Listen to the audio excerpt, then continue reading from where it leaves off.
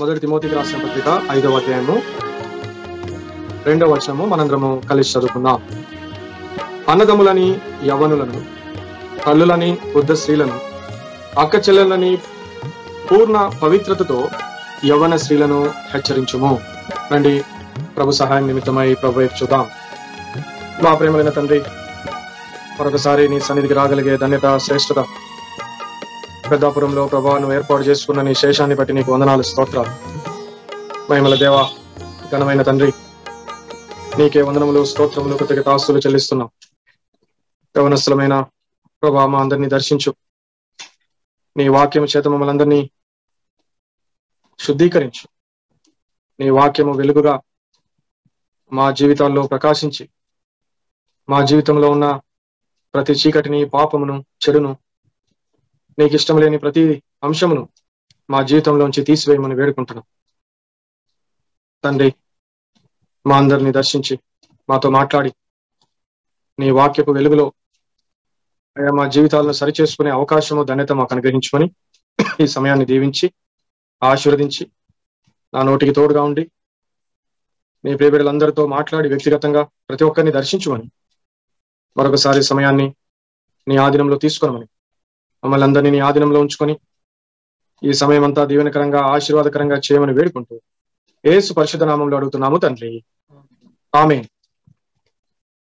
అన్న నా వాయిస్ క్లియర్గా వినిపిస్తుందా? ఒకసారి వినిపిస్తుంది క్లియర్గా మొదటి తిమోతికి రాసిన పత్రిక ఐదవ అధ్యాయము రెండవ వచనము మరొకసారి చదువుకుందాం. అన్నదమ్ములని యవనులను తల్లులని వృద్ధ వృద్ధ స్త్రీలను పక్క చెందని పూర్ణ పవిత్రతతో యవన స్త్రీలను హెచ్చరించుము. గత వారం మనము వృద్ధుణ్ణి గద్దింపక తండ్రిగా భావించి అతనిని హెచ్చరించుము అనే మాటతోటి మనము ధ్యానము మొదలు పెట్టాం ఈ యొక్క మాట కంటిన్యూషన్గా ఇప్పుడు మనం చదువుకున్న మాట ఉన్నది.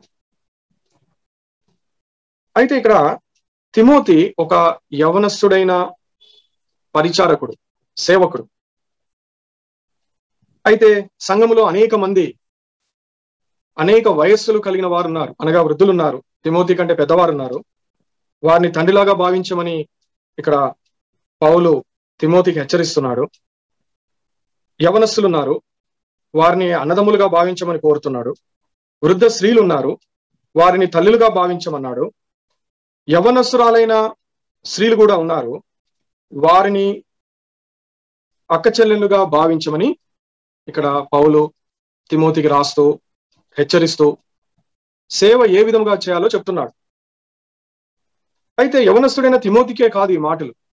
సంఘంలో ఉన్న ప్రతి యవనస్తుడికి ప్రతి యవనస్తురాలికి ఈ మాట చాలా ప్రాముఖ్యమైనది. ఈరోజు మనం ధ్యానించబోయే అంశం ఏంటంటే పూర్ణ పవిత్రతతో.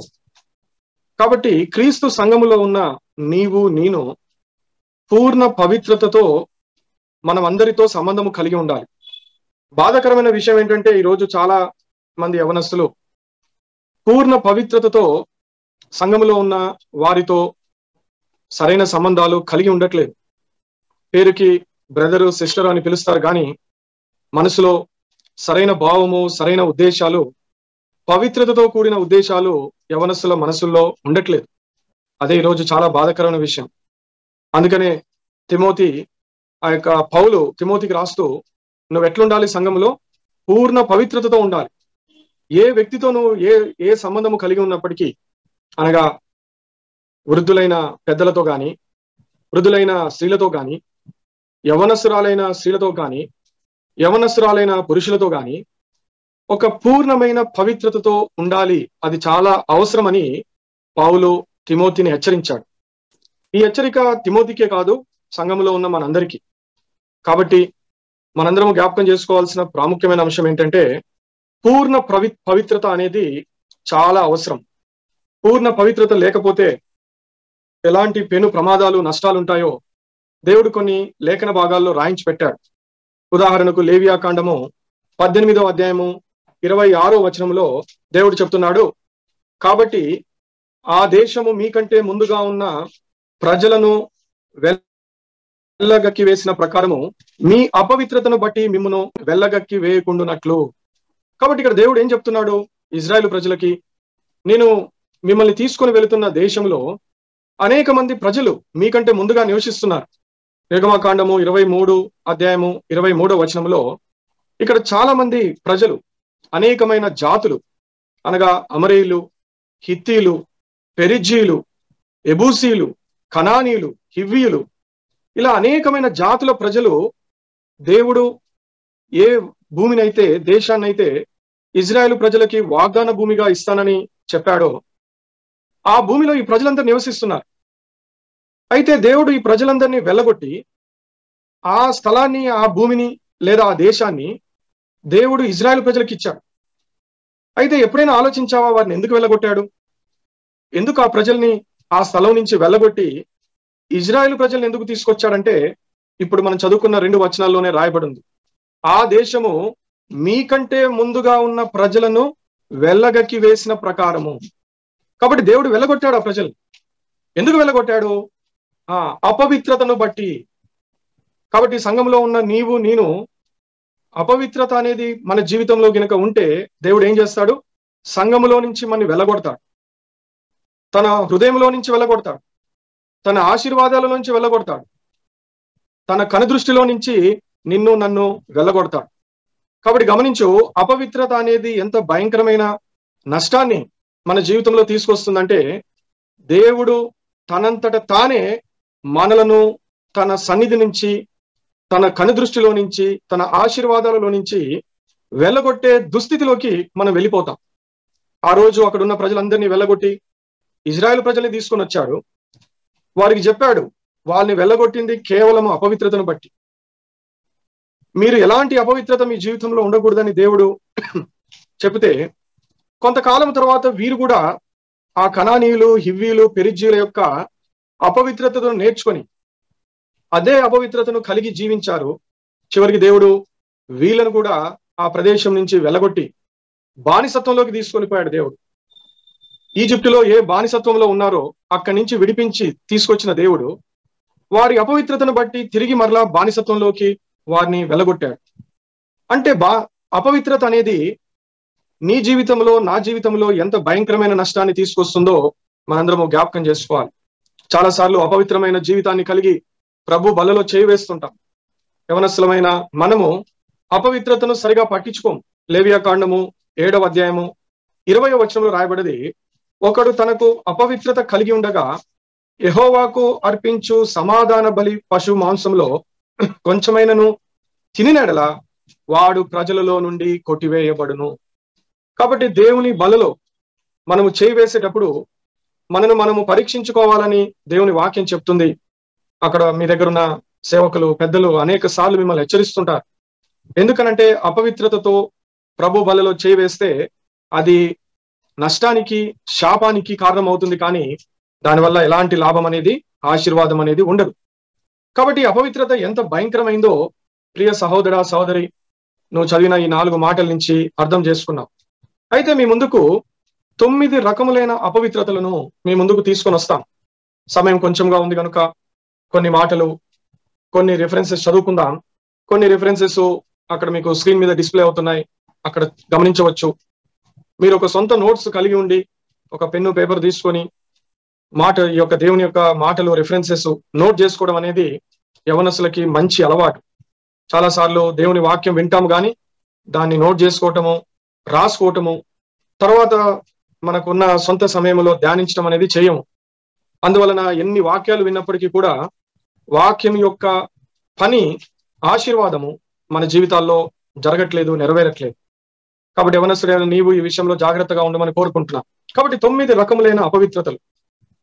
పెరిజ్యుల విషయంలో కణానిల విషయంలో దేవుడు ఈ అపవిత్రమైన అంశంలను చూసే దేవుడు వాళ్ళని అక్కడి నుంచి వెళ్ళగొట్టాడు మరి ఇలాంటి అపవిత్రత మన జీవితంలో ఉంటే వారికంటే ఎక్కువగా మన దేవుడు శిక్షిస్తాడని జ్ఞాపకం చేస్తున్నాం. కాబట్టి రాత్కాల సమయము ఈ మాటలు వింటున్న నీవు నీ జీవితంలో ఏ విధమైన అపవిత్రత అనేది ఉంటే అది వెంటనే ఇప్పుడే ఈ వాక్యము అయిపోయే సమయం లోపలనే ఆ అపవిత్రతను వదిలి విడిచి నువ్వు పవిత్రమైన జీవితంలోకి ప్రవేశించాలని కోరుకుంటున్నావు కాబట్టి ఏ అపవిత్రత నీ జీవితంలో ఉన్నా దేవుడు నీతో మాట్లాడడు. దేవుడి ఆశీర్వాదాలు నువ్వు పొందుకోలేవు. దేవుడి యొక్క దృష్టి నీ మీద ఉండదు. కాబట్టి ప్రియ సహోదర సహోదరి ఇజ్రాయేల్ ప్రజల్నే తన వాగ్దానం చేసిన భూమిలో నుంచి వెలగొట్టిన దేవుడు నిన్ను నన్ను వెలగొట్టడానికి ఏమాత్రము ఆలోచన చేయడు. కాబట్టి అపవిత్రత విషయంలో చాలా జాగ్రత్తగా ఉండమని కోరుకుంటున్నాం. మొట్టమొదటి అపవిత్రత. తొమ్మిది రకములైన అపవిత్రతలు మీ ముందుకు ఈ రాత్రికాల సమయం తీసుకొని వస్తాం. ఈ అపవిత్రతలో నుంచి బయటపడటానికి మన్ని మనము జాగ్రత్త చేసుకోవడానికి సరి చేసుకోవడానికి చివరిలో కొన్ని ప్రాముఖ్యమైన సలహాలు కూడా యవనస్లైన మీ అందరికీ ఆ తెలియజేయడం తెలియజేస్తాం. కాబట్టి ఈ యొక్క సలహాలను కూడా పాటిస్తూ అపవిత్రత నుంచి మిమ్మల్ని మీరు జాగ్రత్త చేసుకోమని కోరుకుంటున్నా. మొట్టమొదటిగా కొలసిలకు రాసిన పత్రిక మూడవ అధ్యాయము ఐదవ వచనములు కావున భూమి మీదున్న మీ అవయములను అనగా జారత్వమును అపవిత్రతను కామ కామాతురతను దురాశను విగ్రహారాధనైన ధనాపేక్షను చంపివేయుడి.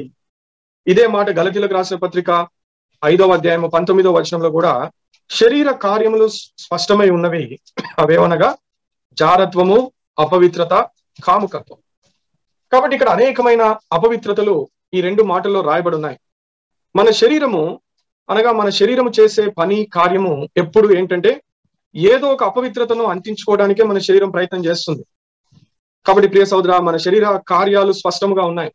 జారత్వము అపవిత్రత కాముకత్వము అదే విధముగా దురాశ విగ్రహారాధన ధనాపేక్ష ఇవన్నీ అపవిత్రతకు సంబంధించినవి. దేవుని దృష్టిలో వీటన్నిటిని దేవుడు అపవిత్రంగా చూస్తాడు. కాబట్టి వీటిలో ఏదైనా ఒక్క లక్షణము నీ జీవితంలో గనక ఉంటే అది దేవుడు నిన్ను అపవిత్రుడుగా నిన్ను ఎంచుతాడని జ్ఞాపకం చేస్తున్నాం. కాబట్టి జ్ఞాపకం చేసుకో ఏ రకమైన ఈ విధమైన లక్షణములు నీ జీవితంలో ఉండనే ఉండకూడదు. యవనస్తుడమైన నీవు ఈ విషయంలో చాలా జాగ్రత్తగా ఉండాలి. మన శరీరం అనేది అత్యంత ప్రాముఖ్యమైన అంశము మన శరీరాన్ని మనము కాపాడుకోవాలి. పవిత్రతతో కాపాడుకోవాలి. మీరు అనొచ్చు ఈ వయసులో చాలా కష్టం కదా బ్రదర్. మేము యవనస్సులము మా శరీరము యవన ప్రాయంలో ఉంది. కాబట్టి ఇవన్నీ ఎలా చేయగలము? ఎలా సాధ్యమవుతాయని చాలా మంది యవనస్సులు తమ మనసులో అనుకుంటారు. ఎప్పుడైతే పవిత్రత గురించి మాట్లాడతామో వినే యవనస్సుల్లో చాలా మందిలో వచ్చే ప్రాముఖ్యమైన ప్రశ్న ఏంటంటే ఇది మా వలన కాదు. ఇంత పవిత్రత మేము పవిత్రముగా జీవించలేము.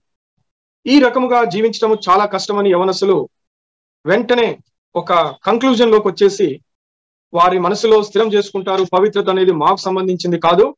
అది కేవలము పెద్దవారికి సేవకులకి లేకపోతే వాక్య పరిచర్య చేసే వాళ్ళకి పవిత్రత అనేది వారికి కానీ మాకు కాదని యవనసులు అనుకుంటారు. ప్రియ సోదర సోదరి దేవుని యొక్క జీవ గ్రంథంలో అనేక మంది యవనస్తులు మీ వయసున్న వారే మీలాంటి ఆ యొక్క ఎమోషన్స్ని కలిగిన వారే మీలాంటి శరీరాలను కలిగిన వారే మీలాంటి ఆలోచన విధానము కలిగిన వారే యవన ప్రాయంలో ఎలాంటి పవిత్రత ఆ ఎలాంటి అపవిత్రత తమ తమ తమకు అంటకుండా తమ పవిత్రతను కాపాడుకుంటూ వచ్చారు. ఉదాహరణకు యోసేపు యొక్క జీవితాన్ని నువ్వు గమనిస్తే ఒక స్త్రీ యోసేపును అపవిత్రతలోకి లాగాలని అనేక సార్లు అనేక దినాలు ప్రయత్నం చేసినప్పటికీ కూడా యోసేపు ఎక్కడా కూడా అపవిత్రతకు అవకాశము ఇవ్వలేదు. దానియలు కూడా విగ్రహములకు అర్పించిన బలిని భుజించి నేను నన్ను నేను అపవిత్రము చేసుకోలేనని. శద్రకు మేషకు అభిజ్ఞగోలు విగ్రహానికి పూజించి మమ్మల్ని మేము అపవిత్రము చేసుకోలేమని. చివరికి పరిస్థితి వాళ్ళ ప్రాణాల మీదకి వస్తున్నప్పుడు కూడా వారు తమ పవిత్రతను వదలలేదు విడిచిపెట్టలేదు. కాబట్టి నువ్వు గమనించాల్సిన ప్రాముఖ్యమైన అంశం ఏంటంటే పవిత్రత అనేది దేవుని పిల్లల జీవితంలో ఎంత ప్రాముఖ్యమో దేవుని దృష్టిలో ఎంత ప్రాముఖ్యమైనదో దేవుని పిల్లల జీవితాలను నువ్వు గమనిస్తూ వస్తే బాగా అర్థం చేసుకోగలవు. కాబట్టి అందరూ తింటున్నారు కదా బలి అర్పించిన ఆహారము. పిల్లలందరూ తిన్నప్పుడు నేను ఒక్కని తింటే తప్పేముంది అని దానియాలు అనుకోలేదు. కాబట్టి వాళ్ళు ఇస్తున్న ఆహారం ఇదే. నేను ఇప్పుడు దీన్ని వద్దని చెప్తే బహుశా వాడికి నా మీద కోపం వచ్చి నన్ను శిక్షిస్తారేమో లేకపోతే జైల్లో పెడతారేమో లేకపోతే నన్ను ఇంకా శ్రమ పెడతారేమో అని దానియాలు ఇక్కడ ఆలోచించలేదు. దానియలు ఆలోచించింది ఒకటే ఒకటి నా దేవుని దృష్టిలో నేను అపవిత్రుడుగా ఉండకూడదు. అందుకనే తను అన్నాడు ఈ ఆహారం నేను భుజించను. నాకు వేరే ఆహారం ఇవ్వమని అడిగాను తనతో పాటు పిల్లలందరూ బలమైన రుచికరమైన శ్రేష్టమైన ఆహారము తింటుంటే దానియలు శాకాహారాన్ని భోజనం చేస్తూ ప్రియ సహోదర తన నోరును కాచుకున్నాడు.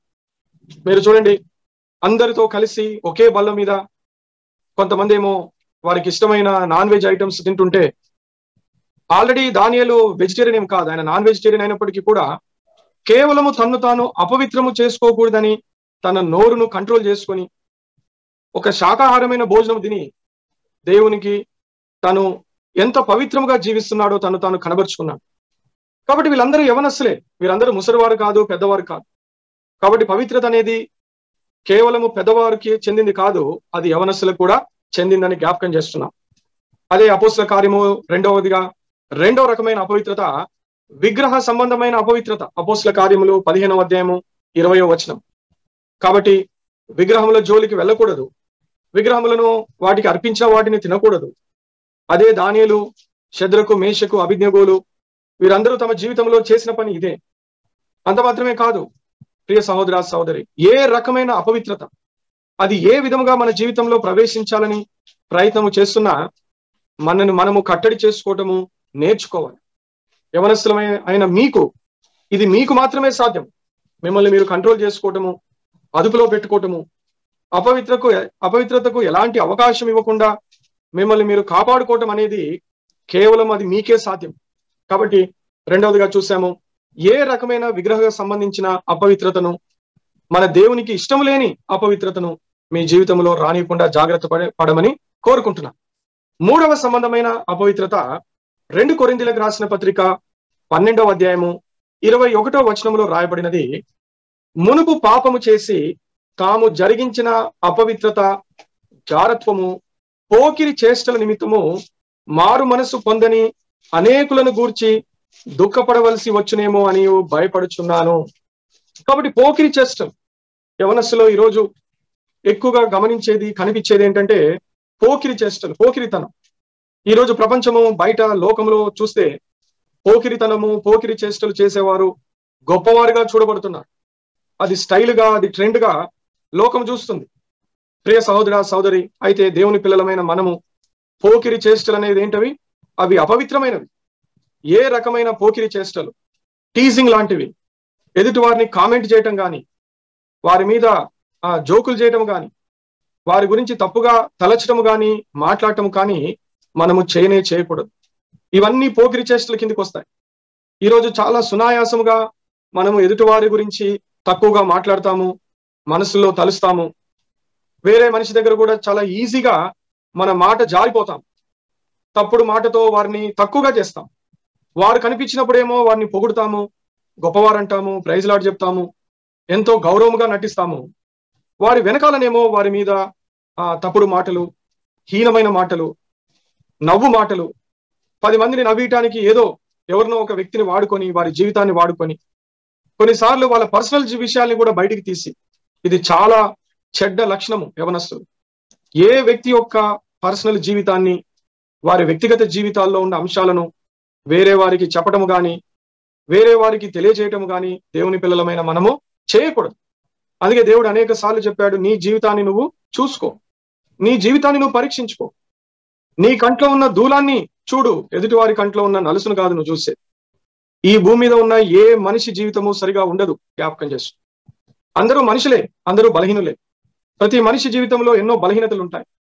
అయితే బలహీనతలను ఎత్తి చూపిస్తూ బలహీనతల మీదనే నీ దృష్టి పెడుతూ వారి యొక్క జీవితాలను లోకి వెళ్ళి అనేకుల మధ్యలో హేళన చేయాలని ప్రయత్నం చేస్తే ప్రియ సోదర ఆకాశం నుంచి చూస్తున్న దేవుడు నిన్ను వదిలిపెట్టడని కూడా జ్ఞాపకం చేస్తుంది. దేవుని పిల్లల గురించి ఒక్క చెడ్డ మాట మనము మాట్లాడిన నోరు జారిన దేవుడు ఎవరిని కూడా వదిలిపెట్టడు. అంత గొప్ప మహా దైవజనుడైన మోసే ఒకనొక సమయంలో తన కోపం కోపం తెచ్చుకొని దేవుని పిల్లలని ఒక చిన్న మాట అన్నందుకు దేవుడు దాన్ని ఎంతో సీరియస్గా కోపంగా తీసుకున్నాడు. మోసేని చాలా చాలా కఠినంగా దేవుడు వార్న్ చేశాడు. కాబట్టి దేవుని పిల్లల గురించి ఎప్పుడు తప్పుడు మాటలు తప్పుడు ఉద్దేశాలు మనము కలిగి ఉండకూడదు. ఇవే పోకిరి చేష్టలు. మనము సంఘము బయట ఉన్న వారి వలె పోకిరి చేష్టలు చేయట్లేదు కానీ సంఘము లోపటుండి మన తోటి సహోదరులు సహోదరుల గురించి తప్పుడు మాటలు తప్పుడు ఉద్దేశాలు కలిగి ఉండటము దేవుడు దాన్ని మరీ ప్రాముఖ్యంగా భయంకరంగా దాన్ని చూస్తాడు. ఆ విషయంలో మనను శిక్షించుటకు ఏ మాత్రం కూడా దేవుడు వెనకాడడని మీకు జ్ఞాపకం చేస్తున్నాం. ప్రేమతో మిమ్మల్ని హెచ్చరిస్తున్నాం. ఒకవేళ గనక నువ్వు ఇప్పటి వరకు ఆ విధముగా ఏదైనా చేసుంటే ఇప్పుడే ఈ వాక్యము అయిపోయే వెంటనే మోకరించి ప్రభు సన్నిధిలో క్షమాపణ వేడుకో. ఏ సహోదరుడి గురించి కానీ సహోదరి గురించి కానీ ఎక్కడైనా నువ్వు తప్పుగా మాట్లాడావేమో ఎప్పుడైనా మనసులో తక్కువగా తలిచావేమో ఎప్పుడైనా తెలుసో తెలియకనో హేళన చేస్తావేమో? ఒకసారి పరీక్షించు. ఇప్పుడే మోకరించు. ఇప్పుడే క్షమాపణ అడుగు. దేవుడి ఉగ్రత దేవుడి కోపము నీ మీద కుమ్మరింపక ముందే నువ్వు క్షమాపణ వేడుకొని ఇంకెప్పుడు ఆ విధంగా చేయనని చెప్పి ఒప్పుకోమని మిమ్మల్ని ప్రేమతో కోరుతున్నాము హెచ్చరిస్తున్నాము. నాలుగో ప్రాముఖ్యమైన అపవిత్రత. రండి రోమిల రెండు కొరిందులకు రాసిన పత్రిక పదకొండవ అధ్యాయము మూడవ వచనం. సర్పము తన కుయుక్తి చేత హవ్ హవ్వను మోసపరిచినట్లు మీ మనసులను చెరుపబడి క్రీస్తు ఎడలనున్న సరళత నుండి పవిత్రత నుండి ఎట్లైనను తొలగిపోని పోవుదురేమో అని భయపడుచున్నాను. సర్పము కుయుక్తి చేత హవ్వను మోసం మోసం చేసింది. ఇదే అదే సర్పము ఈ రోజు కూడా ఉన్నది. అదే సైతాను ఈ రోజు కూడా అంతకంటే ఎక్కువ కుయుక్తితో మన చుట్టూ తిరుగుతున్నాడు. మన జీవితంలో మన ఆత్మీయ జీవితాలను పడగొట్టడానికి కూడా సిద్ధముగా ఉన్నాడు. కాబట్టి సర్పము సైతాను ఏ విధముగా అవ్వను మోసం చేసిందో నిన్ను కూడా మోసం చేయడానికి ఇప్పుడు కూడా ఉన్నాడు. మరి ప్రతిసారి మోసపోతామా? ఒకసారి అవ్వ మోసపోయింది. ఒకసారి ఆదాము మోసపోయాడు. వాళ్ళు ఏ విధంగా మోసపోయారో కూడా దేవుని గ్రంథంలో రాయించి పెట్టాడు దేవుడు. అనేక సార్లు మనకి తెలియజేశాడు వాళ్ళు ఏ విధంగా మోసపోయారని. మరి తెలుసుకున్న నీవేం చేయాలి? మళ్ళీ మళ్ళీ నువ్వు సైతాని చేత మోసపోతావా? మళ్ళీ మళ్ళీ సైతాని యొక్క కుయిక్తిలో పడతావా? ప్రియ సహోదరా సహోదరి వాడు ఏం చేస్తాడు? ఆశను పుట్టిస్తాడు. ప్రతి దాని మీద ఆశ. కాబట్టి దురాశను పుట్టిస్తాడు. ఈ దురాశే అదేమైంది? పాపాన్ని కన్నది. ఆ పాపం వలన వచ్చిన జీతమే మరణం. కాబట్టి దురాశ అవ్వలో మొదలైంది. అది సైతాన్ని తీసుకొచ్చింది. ఈ రోజు కూడా అనేకమైన దురాశలు మన జీవితంలో. దేవుడికి ఇష్టం లేని దురాశలు. మనకు సంబంధం లేని వాటి మీద మనము ఆశ కలిగి యవనస్సులమైన మనము దేవుడు మన జీవితంలో తన ఉద్దేశం ఏంటో అది తెలుసుకోవడానికి బదులుగా తమ సొంత ఇష్టాలు సొంత ఉద్దేశాలు నెరవేర్చుకునే పనిలో ఈ రోజు యవనస్సులు నిమగ్నమైపోయి ఉన్నారు. సొంత ఇష్టాలు సొంత ఆలోచనలు సొంత పద్ధతులు సొంత ఉద్దేశాలు ఇవన్నీ మనిషి యొక్క దురాశకు చెందినవి. ఎప్పుడైతే వీటిని కలిగి ఉంటామో సైతాను సర్పము ఏం చేస్తుంది? నీ దురాశను రెచ్చగొడతాడు. రెచ్చగొట్టబడిన తర్వాత ఆ దురాశను నెరవేర్చుకునే క్రమంలో ప్రియ సోదర సోదరి మనము దేవుని యొక్క శాపమునకు ఉగ్రతకు కారణము అవుతాం. కాబట్టి జ్ఞాపకం చేసుకో హృదయ దురాశలను ఏ ఆశ అయినా సరే ఏ దురాశ అయినా సరే సైతాను కలిగించిన ఒకటి జ్ఞాపకం చేసుకోవాలి. ప్రతిదీ దేవుని సన్నిధిలో దేవునికి తెలియజేసి దేవుని అడిగి దేవుని చిత్తాన్ని తెలుసుకునే ముందుకు వెళ్ళాలి. వాడు ఎన్ని దురాశలు మన జీవితంలో పుట్టించినప్పటికీ మన హృదయంలో పుట్టించినప్పటికీ కూడా ఎప్పుడైతే మన ఆశలను లేదా దురాశలను మన హృదయంలో కలిగినప్పటికీ మనం వెంటనే దేవుని సన్నిధిలో వాటిని ఉంచి దేవుని చిత్తము కొరకు ఎదురు చూస్తామో దేవుడు దురాశలను ఏం చేస్తాడు? పటాపంచలు చేసేస్తాడు. ఇలాంటి దురాశలను నెరవేర్చకుండా మనని ఆపుతాడు. ఎప్పుడైతే సైతాను కలిగించే దురాశలు మన జీవితంలో నెరవేరవో అప్పుడే సైతానుకు అపజయం కలుగుతుంది. మన జీవితము రక్షించబడుతుంది.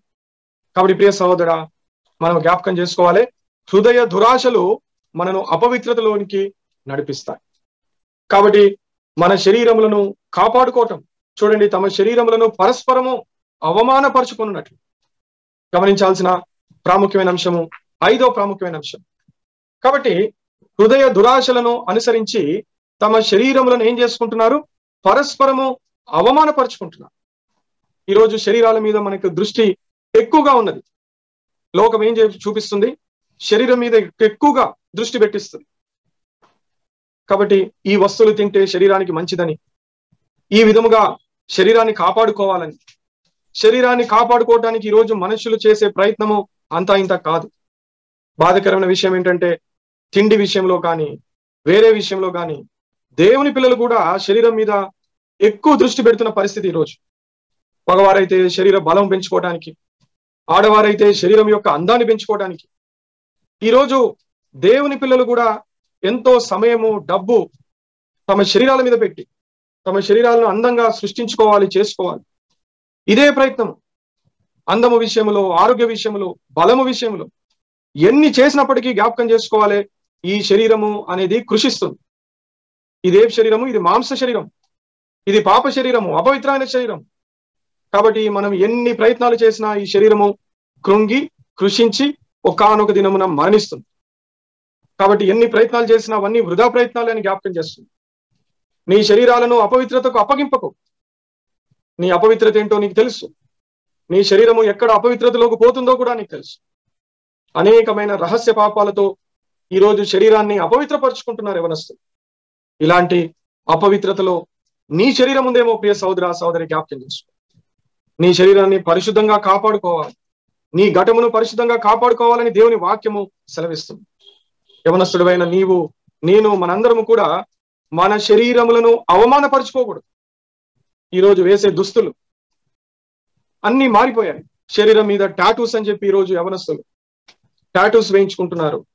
విచిత్రమైన బట్టలు శరీరం కనిపించే విధంగా ధరించే బట్టలు. ఏమైనా అడిగితే వీటిని ఏమంటున్నారు? ఫ్యాషన్ అంటున్నారు ట్రెండ్ అంటున్నారు. ఆ విధంగా బట్టలు వేసుకుంటున్నారు. కాబట్టి ఇవన్నీ శరీరాన్ని అపవిత్రము అవమానపరుచుకునే పనులు ఇవన్నీ. మన శరీరం ఎట్లుండాలి? పవిత్రతతో ఉండాలి. మాదిరికరంగా ఉండాలి. సరైన దుస్తులు ధరించాలి. శరీరాన్ని కప్పుకునే విధంగా దుస్తులు ధరించాలి. ఎక్కడా కూడా మన శరీరము వేరే వారికి అభ్యంతరకరంగా ఇబ్బందికరంగా ఉండకూడదు. మగవారైనా ఆడవారైనా మన శరీరాలను మనము ఆ సరైన వస్త్రములతో సరైన బట్టలతో మనం ఏం చేయాలి? కాపాడుకోవాలి. దాన్ని ఎదుటి వారికి అభ్యంతరము కలుగజేసే విధంగా మన బట్టలు మన శరీర వస్త్రధారణ ఉండకూడదు. మన శరీరము ఆ విధంగా ఉండాల్సిన అవసరం చాలా ఉంది. అనేక మంది మన శరీరాన్ని చూస్తారు జ్ఞాపకం చేసుకుని కాబట్టి మన శరీరము ఎదుటి వారికి కనిపించే విధంగా చేశామా? అది మనకు అపవిత్రత మనను చూసేవారు కూడా మనము వారిని కూడా అపవిత్ర పాలు చేసేవారు అవుతుంది కాబట్టి దేవుడు ఈ రకమైన అపవిత్రత కలిగిన వారిని ఎదుటి వారిని అపవిత్రతలో పడేసే వారిని దేవుడు క్షమించడు. వదిలిపెట్టడని కూడా మిమ్మల్ని ప్రేమతో హెచ్చరిస్తున్నాం. ఆరో ప్రాముఖ్యమైన అంశము ముందుకు వెళ్దాం. ఏజ్గేలు గ్రంథము ఇరవై నాలుగవ అధ్యాయము పదమూడవ వచనము నీకు కలిగిన అపవిత్రత నీ కామాతురతయే. నిన్ను శుభ్రపరచుటకు నేను పోనుకొనినను నీవు శుభ్రపడకపోతివి. నా క్రోధము నీ మీద తీర్చుకొని వరకు నిన్ను శుభ్రపడక నీవు శుభ్రపడక యుందువు చూసావా ఇక్కడ దేవుని కోపము అని రాయపడింది ఎందుకు? శరీరము ఆ ఏమైపోయింది ఇక్కడ? అపవిత్రత. కామముతో శరీరము పాడైపోతుంది ఈరోజు చూస్తుంటే ఇంటర్నెట్ ద్వారా మొబైల్స్ ద్వారా టీవీల ద్వారా ల్యాప్టాప్స్ ద్వారా ఈరోజు దాదాపు అందరికీ ఇవన్నీ ఉన్నాయి. ఈరోజు దాదాపుగా ఇవి వాడని ప్రజలు లేననే చెప్పాలి. అయితే ఇవన్నీ దేని కొరకు వాడుతున్నాం? మంచి కొరకు వాడుతున్నామా? లేకపోతే మన శరీరాలను అపవిత్రం చేసుకోవడానికి వాడుతున్నాం? చాలాసార్లు అనుకుంటాం ఆ ఇవన్నీ రహస్యంగా చేసే పనులు ఎవరు చూడట్లేదని అనుకుంటాం. కాబట్టి మా అమ్మ నాన్న చూడట్లేదు. నేను చేసే ఈ పనులు ఎవరికి తెలియట్లేదు. ఇదంతా నేను సీక్రెట్గా నాకు మాత్రమే తెలిసేటట్టుగా చేసుకుంటున్నాను కానీ ఎవరికి తెలియదు అని అనుకుంటా. కానీ ఆకాశం ఉన్న దేవుడు నిన్ను గమనిస్తున్నాడు ప్రియ సహోదర నీ జీవితాన్ని గమనిస్తున్నాడు. నువ్వు ఏ విధంగా నీ మొబైల్ వాడుతున్నావు? ఏ విధంగా ఇంటర్నెట్ వాడుతున్నావు? ఏమి చూస్తున్నావు? అనేది దేవుడు చూస్తున్నాడని జ్ఞాపకం చేసు. అపవిత్రమైన అనేకమైన అంశాలు ఈరోజు ఈ టెక్నాలజీ ద్వారా మనకు అత్యంత దగ్గరగా వస్తున్నాయి. నిజంగా దినాలు చెడ్డవి అని దేవుని వాక్యం రాయబడింది. ఎందుకు దినాలు చెడ్డవైపోయాయి అంటే ఈ విధమైన అపవిత్రత అత్యంత చేరువుగా మన చేతిలోనే ఈ మొబైల్ ద్వారా లేకపోతే మిగతా ఈ యొక్క ఇంటర్నెట్కు సంబంధించిన వస్తువుల ద్వారా అపవిత్రత మనకు అత్యంత దగ్గరగా ఉన్నది. అయితే మరి ఇలాంటి అపవిత్రత నుంచి మనం కాపాడుకోవాలంటే మనము దేవునిని ప్రార్థించాలి. ప్రార్థనలో ఎక్కువ సమయం గడపాలి. దేవుని వాక్యం ధ్యానించడంలో మన సమయం గడపాలి. మొబైల్ని వాడటంలో మనం మనం మన్ని మనమే కట్టడి చేసుకోవాలి. ఇది ఎవరో చెప్పేది కాదు. లేకపోతే టీవీ చూడటమో లేకపోతే ల్యాప్టాప్ కంప్యూటర్లో చూడటమో మొబైల్ చూడటమో అవసరమైతే తప్ప అది ఎంత అవసరమో అంతే వాడాలి.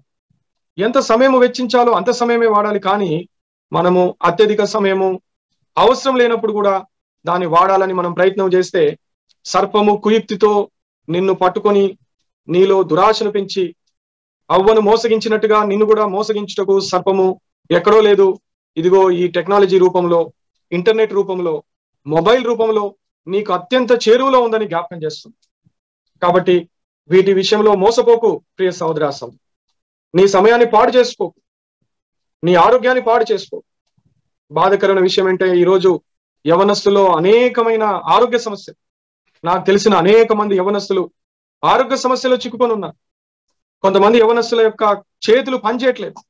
వారి వేళ్ళు కుచించుకపోయారు వారు ఇక్కడ కొన్ని నెలల నుంచి ట్రీట్మెంట్ తీసుకుంటున్నారు మా దగ్గర. వాళ్ళ వేరు వేలు ఎట్లయిపోయాయి? ఆ ఇలా ఇలా కుచించుకపోయాయి. అట్లనే ఉండిపోయాయి. కదలట్లేదు వాళ్ళ వేలు ఎందుకంటే మొబైల్లో బాగా మెసేజ్లు టైప్ చేసి ఎప్పుడు వాట్సాప్లో చాటింగ్లో లేకపోతే ఫేస్బుక్ లోనో ఎప్పుడు ఫ్రెండ్స్తో ఏదో ఒక మెసేజ్ చాట్ చేస్తూ చేస్తూ వాళ్ళ ఫింగర్స్ బాగా ఎక్కువగా ఉపయోగించి ఉపయోగించి జీవిత కాలము పనిచేయాల్సిన ఈ చేతుల వేలు ప్రియ సోదర నాలుగైదు సంవత్సరాలకే పాడైపోయి. ఇప్పుడు ఆ చేతుల వేలు బాగు చేసుకోవడానికి ఇదిగో మా దగ్గర ఉన్న హాస్పిటల్లో చాలా మంది యవనస్తులు ట్రీట్మెంట్ పొందుతున్నారు. అనేక మంది యవనస్తులు ఈరోజు ఈ యొక్క టెక్నాలజీలో ఉన్న చెడ్డ వాటికి ఎడిక్ట్ అయిపోయి మానసిక రోగులైపోయి. ఈరోజు ఇక్కడ ఒక పేషెంట్స్ లాగా ఒక పిచ్చి వాళ్ళలాగా ఈరోజు ట్రీట్మెంట్ తీసుకుంటున్నారు చిన్న చిన్న వయసు ఉన్న పిల్లలు. అప్పుడప్పుడు హాస్పిటల్కి వెళ్తుంటే ఆ ఎన్నో బాధకరమైన సంఘటనలు అక్కడ చూ చూస్తూ బా చిన్న చిన్న పిల్లలు యవనస్తులు ఇరవై సంవత్సరాల పిల్లలు ఇరవై ఐదు వారికి వివాహం కూడా కాని పిల్లలు ఈరోజు వారి యొక్క శరీరాన్ని అపవిత్రతకు అప్పగించి అనేక దినాలు తల్లిదండ్రులకు తెలియకుండా ఎవరికి తెలియకుండా మొబైల్స్ని పట్టుకొని నిద్రపోయేటప్పుడు చీకట్లో ఈ మొబైల్స్లో చెడ్డ వీడియోస్ బాగా చూసి చూసి వారి మైండ్ను పాడు చేసుకొని వారి హృదయాన్ని పాడు చేసుకొని వారు ఒక పిచ్చి వాళ్ళుగా అయిపోయి ప్రియ సోదరా చివరికి వారి యొక్క స్థితి ఎట్లా ఉందంటే ఈ రోజు ఇక్కడ ఉన్న ఆ ఈ యొక్క హాస్పిటల్లో ఒక పిచ్చి వారిగా ట్రీట్మెంట్ తీసుకుంటున్నారు యవనసులైన పిల్లలు. ఈ రోజు మన మనం చేస్తున్న చూస్తున్నా ఉపయోగిస్తున్న. ఇదిగో ఈ టెక్నాలజీ ఇదిగో ఈ ఇంటర్నెట్ ఇదిగో ఈ మొబైల్ ఫోను ఇదిగో ల్యాప్టాప్లు. ప్రియ సహోదరా దేవునికి ఇష్టం లేకుండా నువ్వు వాడావా? అపవిత్రత కొరకు వాడావా? తప్పు కొరకు వాడావా? తప్పుడు సమాచారం కొరకు వాడావా? ప్రియ సహోదరా ఒకనొక దినమున నీ పరిస్థితి లేదా నా పరిస్థితి కూడా అట్లనే అవుతుంది జ్ఞాపకం చేసు కాబట్టి నీ శరీరాన్ని కాపాడుకో. ఎలాంటి కామాతురతను నీ నీ దారి చేరనివ్వ చాలాసార్లు అనుకుంటాం ఈ సినిమా చూసినా ఈ యొక్క వీడియో చూసినా లేకపోతే పలాంటి ఏదైనా చూసినా అందులో ఉన్న చెడ్డని నేను చూడను అందులో ఉన్న మంచిని నేను గమనిస్తాను కానీ చెడును నేను చూడను పట్టించుకోను అనుకుంటా. అనుకునే చాలా మంది ఈరోజు వీటి వైపు వెళుతున్నారు. ఒకటి జ్ఞాపకం చేసుకోవాలి. కుయుక్తితో సైతాను నీ పక్కనే ఉందని జ్ఞాపకం చేసుకో. నువ్వు మంచి కొరకు లేదా మంచి ఉద్దేశంతో నువ్వు మొదలుపెట్టిన చివరి ముగింపు మాత్రం వాడు నిన్ను ఆ కామాతృతలోకి తోసివేస్తాడు. అపవిత్రలోకి తోసివేసి ప్రియ సహోదర దేవునికి నీకు పెద్ద ఎడబాటు కలిగిస్తాడు. కాబట్టి ఇలాంటి విషయంలో జాగ్రత్తగా ఉండమని కోరుకుంటున్నాం. ఏడో ప్రాముఖ్యమైన అంశము ఏడో ప్రాముఖ్యమైన అంశము అపవిత్రత గురించి ధ్యానిస్తున్నాం. ఇర్మియా గ్రంథము ఇరవై మూడవ అధ్యాయము పదిహేనవ వచనము. సైన్యములకు అధిపత్యకు యహోవా ఈ ప్రవక్తలను గురించి సెలవిచ్చినదేమనగా ఎరుషలేము ప్రవక్తల అపవిత్రత దేశమంతటా వ్యాపించెను. ఇది ఎవరి అపవిత్రత? ప్రవక్తల అపవిత్రత. ఈ రోజు కూడా ప్రవక్తలని చెప్పుకొని తిరుగుతున్న వాళ్ళు అనేకులు. దేవుని వాక్యాన్ని బోధించడానికి ఈరోజు అనేక మంది అబద్ధ ప్రవక్తలు లేచారు. అబద్ధ బోధకులు లేచారు. దేవుని వాక్యాన్ని మనుషులకు ఇష్టమైనట్టుగా చెప్పేవాళ్ళు లేచారు. మనుషులను పట్టుకోవడానికి మనుషులను తమ వైపు ఆకట్టుకోవటానికి ఆకట్టుకొని వారి ద్వారా డబ్బు సంపాదించడానికి ఆస్తులు సంపాదించుకోవడానికి అనేక మంది అబద్ధ ప్రవక్తలు అబద్ధ బోధలు వింత బోధలు చెడ్డ బోధలు మనుషులకు ఇష్టమైన బోధలు చేసే అనేక మంది ప్రవక్తలు ఈ రోజు లేచారు. కాబట్టి వీళ్ళ విషయంలో జాగ్రత్తగా ఉండమని కోరుకుంటుంది ప్రియ సహోదర సహోదరి దేవుడు మనకిచ్చిన గొప్ప ఆశీర్వాదం ఏంటంటే ఆ రోజుల్లో దైవజనుడు బక్సింగ్ గారిని తను పిలుచుకొని ఎన్నుకొని దైవజనుడి ద్వారా ఒక సరైన క్రమము సరైన వాక్యము ఒక స్పష్టమైన వాక్యము దేవుడు మనకు అందించాడు ఇప్పటికీ అందిస్తూనే ఉన్నాడు. కాబట్టి మన సావాసంలో ఉన్న గొప్పతనం ఏంటంటే దేవుని వాక్యము మనకు సరిగా ఖచ్చితముగా స్పష్టముగా మనకు అందుతుంది. అయితే లోకం ఆ విధంగా లేదు. లోకంలో అనేక మంది అబద్ధ బోధకులు అబద్ధ ప్రవక్తలు అపవిత్రమైన బోధలు చేస్తున్నారు. ఇవి మనకి వినసొంపుగా ఉంటాయి. అవి ఎంతో నచ్చుతాయి ఇష్టంగా ఉంటాయి. కానీ అవి ఒక దినంలో ఏం చేస్తాయి? ఆ బోధలే మన్ని అపవిత్రతలోకి తీసుకొని వెళ్తాయి. కాబట్టి నువ్వు వినే బోధ చాలా ప్రాముఖ్యమైనది. ప్రియ సహోదరా ఏదైనా సరే మనిషికి ఇష్టమైనట్టుగా పుట్టే బోధలు ఆ మనిషిని అపవిత్రతలోకి తీసుకెళ్తాయి. దేవుని చిత్తానుకూలమైన బోధ మనని ఏం చేస్తుంది? ఖండిస్తుంది ఛేదిస్తుంది. రెండంచుల ఖడ్గము ఈ వాక్యం. ఇది మన హృదయంలో దూరుతుంది మన హృదయాన్ని ప్రక్షాళన చేస్తుంది. మన ఆ శరీరాన్ని మన యొక్క మూలుగును కూడా తాకుతుంది. మన శరీరాన్ని స్వస్థపరుస్తుంది. మనలో ఒక ఉజ్జీవాన్ని కలిగిస్తుంది. మార్పును తీసుకొస్తుంది. ప్రతిసారి మన హృదయాన్ని హెచ్చరిస్తుంది. అంతేగాని ఇది వినసొంపుగా ఉండేది కాదు నచ్చేటట్టుగా ఉండేది కాదు. నిన్ను సంతోషపెట్టడానికి రాసిన వాక్యం కానే కాదు. కాబట్టి ఎరుసలేము ప్రవక్తల అపవిత్రత విషయంలో జాగ్రత్తగా ఉండు. అలాంటి ప్రవక్తల వెంటబడి పోకు వారి బోధ బోధలకు అట్రాక్ట్ కాకు వారి బోధనలు విని వా వారు అపవిత్రతలో పడిపోయి నిన్ను కూడా అపవిత్రతలో పడేస్తారు. జాగ్రత్తగా ఉండమని కోరుకుంటున్నాను ఎనిమిదవ ప్రాముఖ్యమైన అపవిత్రత లేవియా కాండము పంతొమ్మిదవ అధ్యాయము ముప్పై ఒకటో వచనంలో రాయబడింది కర్ణ పిశాచి గలవారి దగ్గరికి పోకూడదు సోదెగాండ్రను వెదికి వారి వలన అపవిత్రత కలగజేసుకొనకూడదు నేను మీ దేవుడైన యహోవాను. సోదెగాండ్రు. ఆ రోజుల్లో సోదెగాండ్రు కర్ణ పిశాచి గలవారు ఆ రోజుల్లో ఉన్నారు. బహుశా ఈ రోజుల్లో లేరని చెప్పుకోవాలి. ఈ రోజు మనకి కళ్ళకు కనిపించే సోదెగాండ్రు కర్ణ పిశాచి గలవారు లేరు కానీ ఆన్లైన్లో మాత్రం చాలా మంది సోదెగాండ్లు ఉన్నారు. ఎవరు సోదెగాండ్రు? సోది చెప్తారు. కాబట్టి సోదె మెసేజెస్ వాళ్ళకేం పనిపాట లేదు. ఎంతసేపు నీకు ఏదో ఒక మెసేజ్లు పంపిస్తారు. అనవసరమైన మెసేజెస్ అనవసరమైన వాటి గురించి గంటలు గంటలు నీతో మాట్లాడుతారు. మీకు తెలిసిన సోదగాండ్రు ఏం చెప్తారు? సోది చెప్తారు.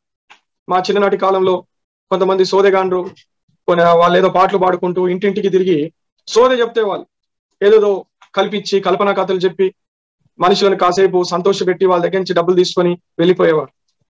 ఈ రోజు అలా ఆ సోదెగాండ్రు పోయి ఆ సోదెగాండ్రు ఈ రోజు ఇంటర్నెట్లో వాట్సాప్ల ద్వారా ఫేస్బుక్ ద్వారా మొదలయ్యారు వీళ్ళకేమీ పనిపాట లేదు ఉద్యోగాలు లేవు చదువులు లేవు తల్లిదండ్రుల భయం లేదు వారికి దేవుని భయం లేదు సంఘం లేదు వారికి ఉన్న ఒకే ఒకటి ఏంటంటే ఎప్పుడు ఎవరికో ఎవరికి వారికి మెసేజ్లు పంపించు ఏదో ఒక మెసేజ్. ఎదుటి వారిని పంపించడము ఫోన్లు చేయడము గంటలు గంటలు మాట్లాడి సోది చెప్పి మన మనసులను పాడు చేసే వాళ్ళు ఉన్నారు ప్రియ సహోదర సహోదరి ఇలాంటి సోదెగాండ్ర విషయంలో జాగ్రత్తగా ఉండు. వాడు నీ స్నేహితుడైనా స్నేహితురాలేను ఎవరైనా సరే నీ సమయాన్ని పాడు చేస్తున్నారంటే వారు ఎవరు వారు? వారు సోదెగాండ్రే కాబట్టి నీ సమయం విషయంలో నువ్వు జాగ్రత్త పడు. సోదెగాండ్రుల దగ్గరికి పోకు. అలాంటి వారితో స్నేహము చేయకు. నీ సమయము నువ్వు దేవునికి ఇవ్వాలి. నీ సమయము నీ చదువుకి ఇవ్వాలి. నీ సమయము నీ తల్లిదండ్రులకు ఇవ్వాలి. దేవుని పరిచయకి ఇవ్వాలి.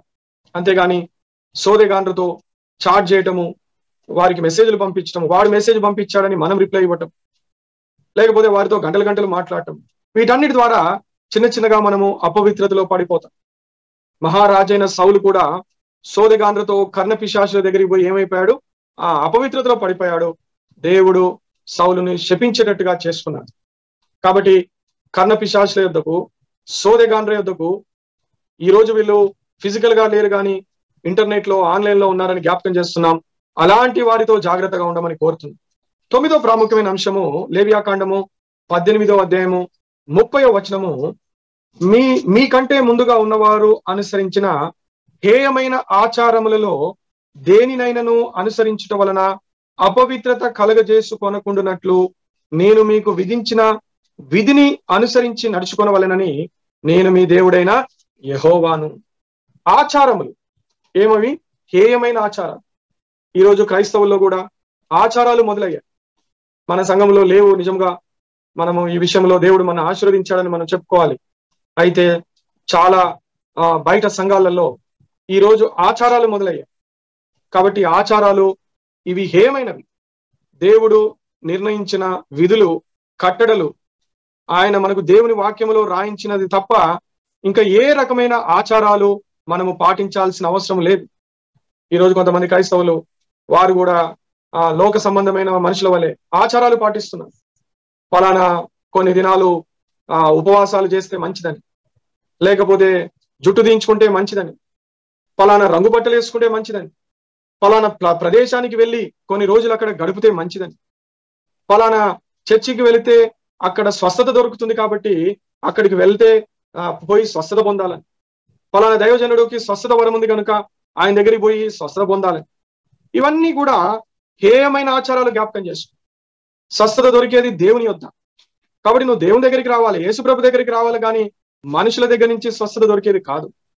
లేకపోతే దేవుడు ఫలానా ఒక స్థలంలో ఎక్కడ స్వస్థత పెట్టలేదు. నువ్వు అక్కడికి పోతే అక్కడనే నీకు స్వస్థత దొరుకుతుందని దేవుడు ఎక్కడా కూడా జీవ గ్రంథంలో రాయలేదు. రంగుల బట్టలు వేసుకోవటము జుట్టు దించుకోవటము మోకాళ్ళ మీద నడుచుకుంటూ పోవటము ఎన్నో మైళ్ళు ఆ ఎక్కిపోవటము దిగటము ఇవన్నీ హేమైన ఆచారాలు ప్రియ సహోదర సోదరి మనం సంతోషకరమైన విషయం ఏంటంటే మన యొక్క సంఘములలో ఇలాంటి ఆచారాలు లేవు కానీ బయట సంఘాల్లో చాలా ఆచారాలు ఈ విధంగా ఉన్నాయి. కాబట్టి హేమైన ఆచారాల విషయంలో ఎక్కడా కూడా అపవిత్రత పొందకుండా జాగ్రత్త చేసుకోమని నిన్ను ప్రేమతో కోరుకుంటున్నాను కాబట్టి ఇలాంటి ఆచారాలు నీ దగ్గరకు వచ్చినప్పుడు నువ్వేం చేయాలి? ఆ వాటి నుంచి పారిపోమని కోరుకుంటున్నాను ఇలాంటి ఆచారాల వల్ల మంచి ఉన్నదని ఎవరైనా చెప్పినా? ఇది ఇది ఇది చేయాలని ఎవరైనా చెప్పినా? వాటిని నమ్మకు. దేవుడు ఏ ఆచారాలు కూడా మనకి పెట్టలేదని ప్రేమతో మీకు మీకు చెప్తున్నా. కేవలము ఆయన రాయించిన విధులు ఆయన శాసనములు ఆయన కట్టడం అవి దేవుని జీవ గ్రంథంలో ఉన్నవి. ఎప్పుడు నీకు ఏ వింత ఆచారము ఎక్కడ కానీ నీకు తెలిసినా వెంటనే దేవుని జీవ గ్రంథము దగ్గరికి వచ్చి దేవుని అడిగి అది ప్రభు వాక్యములో రాయబడి ఉందా లేదా అని మనకు మనమే పరీక్షించుకోవాలి. రానున్న దినాలు చెడ్డవి. అనేక మంది వింత ఆచారాలు వింత పద్ధతులు మన జీవితంలో తీసుకొని వస్తారు. అయితే దేవుని జీవ గ్రంథము మనకు ప్రామాణికం. ఎప్పుడు కూడా దేవుని జీవ గ్రంథములోంచి మనము ప్రతిదీ పరీక్షించుకోవాలి. దేవుడు చెప్పినదేమిటి? ఆ ఇక్కడ మనుషులు చేస్తున్నదేమిటి? అది మనకు మనమే పరీక్షించుకొని అలాంటి అపవిత్రతలో పడకుండా మనము జాగ్రత్త చేసుకోవాలి. అయితే ప్రియ సోదర ఈ తొమ్మిది అపవిత్రతల నుంచి కాపాడుకోవాలి మనను మనము రక్షించుకోవాలంటే రెండు సూచనలు మీకు ఇచ్చి ఈ యొక్క వాక్యాన్ని రోజు ధ్యానాన్ని ముగించుకుందాం. ఎజ్రా పుస్తకము ఆరవ అధ్యాయము ఇరవై ఒకటో వచనంలో రాయబడినది దేశమందుండు అన్య జనులలో అపవిత్రత నుండి తమ్ము తాము ప్రత్యేకించుకొనిన వారందరూ వచ్చి. కాబట్టి ఇక్కడ ఏం రాయబడింది? అపవిత్రత నుంచి మనను మనమే ప్రత్యేకపరచుకోవాలి. చాలాసార్లు అనుకుంటాం దేవుడు కాపాడాలనుకుంటాం. ప్రియ సహోదరా అపవిత్రత నుంచి దేవుడు కాపాడటం కాదు. అపవిత్రత నుంచి నిన్నువే కాపాడుకోవాలి. అప్పుడే అది దేవునికి భయపడటము దేవుణ్ణి ఆ మహిమపరచడము దేవుని స్థుతించడం నీ జీవితంలో అపవిత్రత ఉండి నువ్వు దేవుణ్ణి ఆరాధించిన స్థుతించిన ఆ స్థుతి ఆ ఆరాధన దేవుని సన్నిధికి చేరదు. ఆయన ఆరాధించేవారు ఆత్మతో సత్యముతో. సత్యమనగా ఏమి? సత్యమనగా అపవిత్రత లేని ఆ హృదయం. కాబట్టి అపవిత్రత కలిగి మనము ఎన్ని ఆరాధనలు చేసినా ఎన్ని ప్రార్థనలు చేసినా దేవుడు ఆ ప్రార్థనలు వినడు ఆ ఆరాధనను అంగీకరించడు. కాబట్టి అపవిత్రత నుంచి రక్షించుకోవాలంటే మనను మనమే ప్రత్యేకపరచుకోవాలి. అందుకే మీరు ప్రత్యేకించబడిన జనము మీరు ఏర్పాటు చేయబడిన జనము రాజులైన యాజక సమూహము. దేవుడు ఎందుకు అన్నాడు? ఎందుకు ప్రత్యేకించుకోవటం అంటే ఏంది? మనను మనమే దానియలు తన్ను తానే ప్రత్యేకపరుచుకున్నాడు. ఎవరైనా చెప్పారా దానియలకి?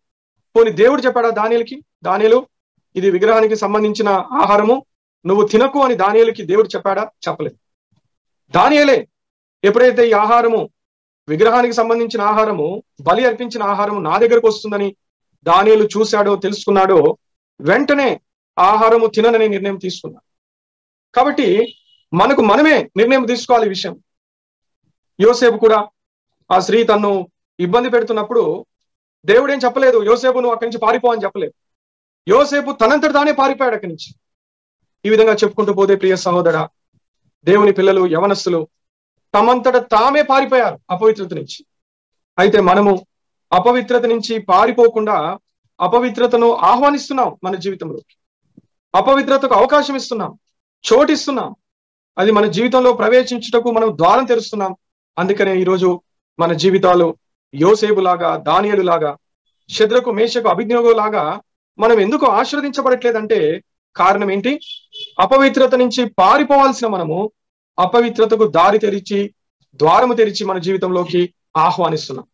కాబట్టి జ్ఞాపకం చేసుకో ఏ రకమైన అపవిత్రత అయినా సరే నీ హృదయము నిన్ను హెచ్చరించినప్పుడు దేవుని వాక్యము నిన్ను హెచ్చరిస్తున్నప్పుడు ఇది అపవిత్రమైనది అని చెప్పినప్పుడు వెంటనే దాన్ని ఏం చేయి?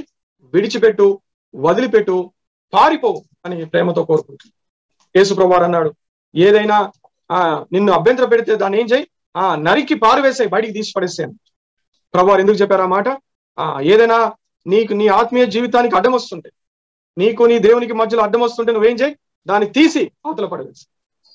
దాన్ని మరలా రానివ్వకి నీ జీవితం. అలాంటి కఠినమైన నిర్ణయాలు నువ్వు తీసుకుంటేనే నువ్వు పవిత్రమైన జీవితము జీవించడం లేకపోతే కొంత సమయము పవిత్రమైన జీవితము కొంత సమయము అపవిత్రమైన జీవితము ఈ మధ్యలోనే జీవితం అంతా కొనసాగుతుంది. ఒక రోజు పవిత్రతతో రెండో రోజు అపవిత్రత.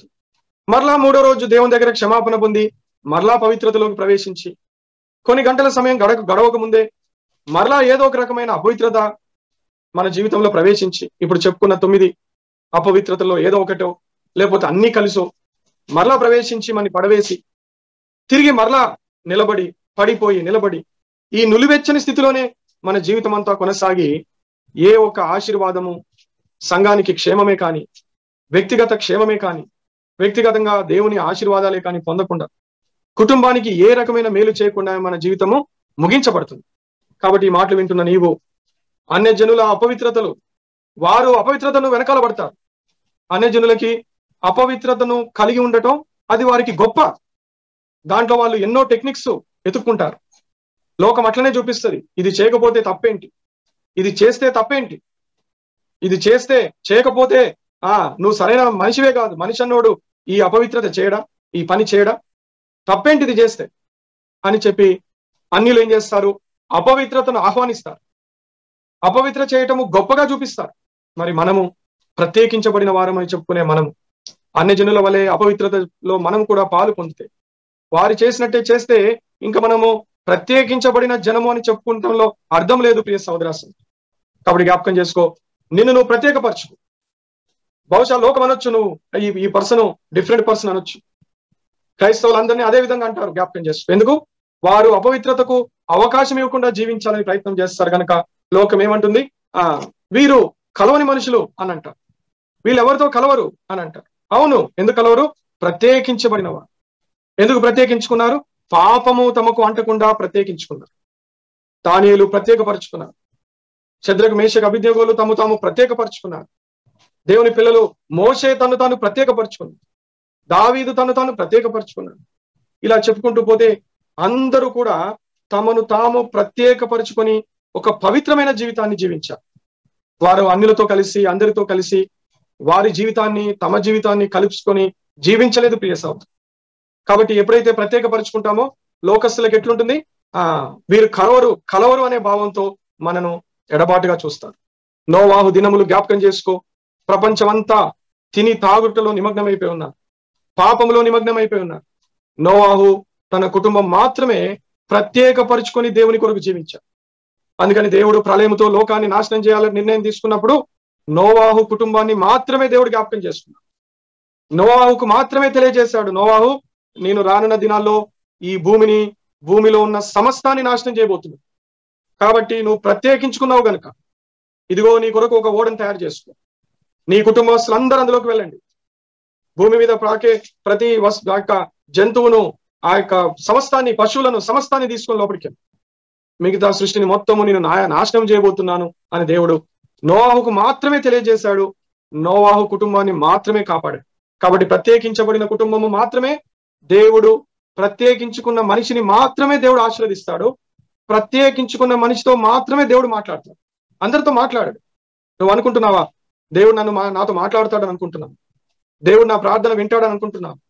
నా స్థుతి ఆరాధన దేవుడు స్వీకరించాడని నువ్వు అనుకుంటున్నావా? నువ్వు ప్రత్యేకింపబడని వాడవైతే. నిన్ను నువ్వు ప్రత్యేకించుకునే దానివైతే. నీ ప్రార్థన నీ ఆరాధన దేవుడు వినడు స్వీకరించాడు. నీతో మాట్లాడే మాట్లాడు. ఎందుకు? నీ జీవితంలో అపవిత్రత అనే ఒక పెద్ద గోడ దేవుడికి నీకు అడ్డుగా ఉంది. కాబట్టి ప్రియ సార్ నిన్ను నువ్వే నిన్ను నువ్వే ప్రత్యేకపరచు. నిన్ను నువ్వే కాపాడుకో నిన్ను నువ్వే దూరం చేసుకోమని ప్రేమతో కోరుతుంది ఏ రకమైన అపవిత్రత నీ జీవితంలో ప్రవేశిస్తుందని నీకు తెలిసిన వెంటనే నిన్ను నువ్వు ప్రత్యేకపరచుకో దూరపరచుకో. ఆ అలవాటుని విడిచిపెట్టు. అది చెడ్డది అని తెలిసిన మరుక్షణం దాన్ని ఏం చేయి? ఆ దాన్ని ఏ విధంగా నీ జీవితంలో తీసివేసుకోవాలో దానికి ప్రయత్నాలు మొదలుపెట్టు. దేవుడు నీకు సాయం చేస్తాడు. చివరిగా రోమిలకు రాసిన పత్రిక ఆరో అధ్యాయము పంతొమ్మిదో వచనము పరిశుద్ధత కలుగుటకై ఇప్పుడు మీ అవయములను నీతికి దాసులుగా అప్పగింపుడి. ఒకప్పుడు అనేకమైన శరీర బలహీనతలు మన మన జీవితం యేసు ప్రభుని ఎరగక ముందు అనేకమైన శరీర బలహీనత. కాబట్టి అపవిత్రత అక్రమము ఇవన్నీ మన జీవితంలో ఉన్నాయి. మరి యేసును కలిగిన తర్వాత కూడా ఇవే ఉంటే ప్రియ సోదర ఏమి వ్యత్యాసం? ఎక్కడ జీవితం మారినట్టు?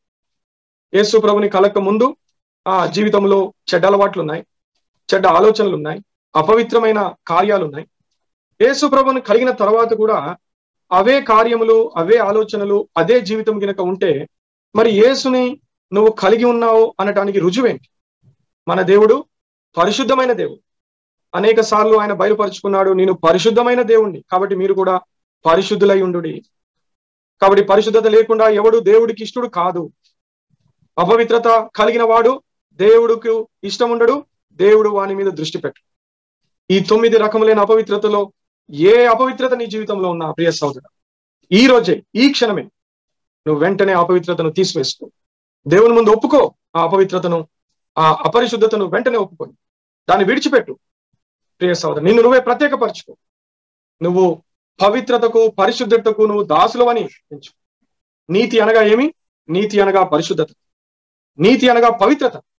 కాబట్టి పరిశుద్ధత పవిత్రత లేకుండా ఎవడు నీతిమంతుడు కాలేడు. నీతిమంతు నీతిమంతుడు కాలేని వాడు దేవుణ్ణి చూడలేడు దేవుని స్వరాన్ని వినలేడు దేవుడి కుమారుడుగా కుమార్తెగా కాలేడు. ఈ రాత్రికాల సమయం. మీకు ప్రాముఖ్యమైన కొన్ని వచనాలు తీసుకొని వచ్చాం. తొమ్మిది రకములైన అపవిత్రతలు మీ ముందుకు తీసుకొని వచ్చాం. ఈ అపవిత్రతలను విడిచిపెట్టమని ప్రేమతో కోరుకుంటున్నాం. హెచ్చరిస్తున్నాం. అంత మాత్రమే కాదు. నిన్ను నువ్వే ప్రత్యేకపరచుకోమని కోరుకుంటున్నాం. మొదటిగా చూసాము ప్రియ జారత్వము అనే అపవిత్రత. అదే విధంగా రెండవదిగా చూసాము విగ్రహాల నుంచి వచ్చే అపవిత్రత. నుంచి కాపాడుకో ప్రత్యేకపరచుకో. అంత మాత్రమే కాదు కాముకత్వం నుంచి శరీర కార్యాల నుంచి నిన్ను నువ్వు కాపాడుకో రక్షించుకో. సర్పము సాతాను చేసే కుయుక్తులు హృదయము చేసే మోసము దురాశల నుంచి నిన్ను నువ్వు ప్రత్యేకపరచుకో. కామాతురత అనే అపవిత్రత నుంచి నీ శరీరాన్ని కాపాడుకో. నీ శరీరంలో ఎలాంటి కామమునకు అవకాశం ఇవ్వకు. అదేమి స్టైల్ కాదు అదేమి ట్రెండ్ కాదు అదేదో చేయాలని కాదు. పవిత్రమైన జీవితము జీవించాలి ప్రియ సోదరు మన అవసరాలు మన అక్కరతలు మన శరీరానికి కావలసిన ఉన్న ప్రతి ఎమోషను అవసరతలు దేవునికి తెలుసు. మన శరీరాన్ని సృష్టించిన దేవుడికి తెలుసా? మనకి తెలుసా? మనకేం కావాలని? ఎప్పుడు కావాలనేది? ఎలా కావాలనేది? మన ప్రభుకే తెలుసు. ఎప్పుడైతే మన శరీరాన్ని ఆయనకు అప్పగించుకుంటామో ఆయనే మన శరీరానికి కావలసిన అన్ని అవసరతలు ఆయన తీరుస్తాడు సృష్టించిన దేవుడి కంటే ఎక్కువగా మనకేం తెలుసు? మన శరీరం గురించి. కాబట్టి మనమే సొంత నిర్ణయాలు తీసుకొని నా శరీరానికి ఇది కావాలి నా శరీరానికి అది కావాలి నా శరీరం ఇట్లుండాలి నా శరీరానికి ఇది అవసరమని మనమే నిర్ణయం తీసుకొని ప్రియ సహోదరా ఎందుకు దేవుని ముందు అపవిత్రం అయిపోవాలి అంత మాత్రమే కాదు ప్రవక్తల యొక్క అపవిత్రమైన బోధల నుంచి జాగ్రత్త పడు.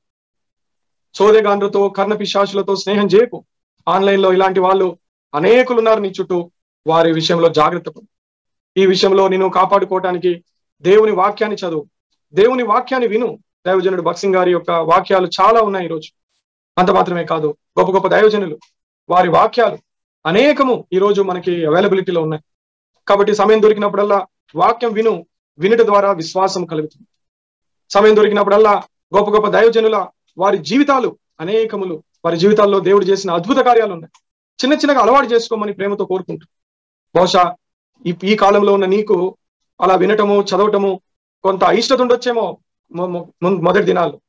అయితే వాటిని చిన్న చిన్నగా ఆరంభిస్తే మొదలు పెడితే నువ్వు లోకము లోక ఆశల నుంచి లోకానికి సంబంధించిన అపవిత్రత నుంచి దూరమై దేవుని పవిత్రతలోకి నువ్వు ప్రవేశిస్తావు ప్రేయస్తావు. తొమ్మిదవదిగా చూసాం హేయమైన ఆచారాలలో చిక్కుపడ ఎవరైనా ఇది ఆచారము ఇది పద్ధతి ఇది చేయాలి అని చెప్తే వెంటనే దేవుని గ్రంథములో దేవుడు అది చేయమన్నాడా లేదా అని మన మనము పరీక్షించుకోవాలి. చివరిగా వీటన్నిటి నుంచి నిన్ను నువ్వే ప్రత్యేకపరుచుకో. నిన్ను నువ్వు నిన్ను నువ్వే జాగ్రత్త చేసుకో. అప్పుడు దేవుడు నిన్ను ఒక యోసేపును ఏ విధంగా ఆశీర్వదించాడు? దానియల్ని ఏ విధంగా ఆశీర్వదించాడు? శద్రకు మేషకు అభిజ్ఞగోలను ఏ విధంగా ఆశీర్వదించాడో అంతకంటే ఎక్కువగా నేను ఆశీర్వదించటకు దేవుడు ఈ రోజు కూడా సిద్ధంగా ఉన్నాడు. అదే దేవుడు ఈ రోజు ఉన్నాడు. వారి దేవుడే మన దేవుడు. వారిని ఆశీర్వదించిన దేవుడే మనని ఆశీర్వదిస్తాడు. అంతకంటే గొప్పగా ఆశీర్వదించటకు సిద్ధపడున్న దేవుడు మనకుండగా ఈ అల్పకాల పాప భోగములకు అవకాశం ఇచ్చి ఈ కామాతురతలకు అపవిత్రతలకు అవకాశం ఇచ్చి శరీరాన్ని పాడు చేసుకొని ఆరోగ్యాన్ని పాడు చేసుకొని దేవుని ఆశీర్వాదాలను పోగొట్టుకొని ఎందుకు మనము భ్రష్టులుగా అయిపోవాలి? భ్రష్ట జీవితాన్ని జీవించాలి ప్రియ సోదర సోదరి. కాబట్టి మాటలు వింటున్న నీవు మరొకసారి ప్రేమతో మీకు తెలియజేసిన ఈ అంశాలను హెచ్చరికలను నువ్వు ధ్యానించి గుర్తు చేసుకొని నిన్ను నువ్వు కాపాడుకో. ఏ రకమైన అపవిత్రతకు నువ్వు అవకాశం ఇవ్వకు. యవనస్తుని కాబట్టి పడతాను లేస్తాను అని అనుకో. యవనస్తులు మీరు బలవంతులు అని దేవుని వాక్యం చెప్తారు నువ్వు బలం కలిగిన వాడి. కాబట్టి దేవుని కొరకు బలముగా జీవించుట దేవుని కొరకు పవిత్రతతో పరిశుద్ధతలో జీవించుట నీ వల్లే సాధ్యమవుతుంది ప్రియ సోదరా.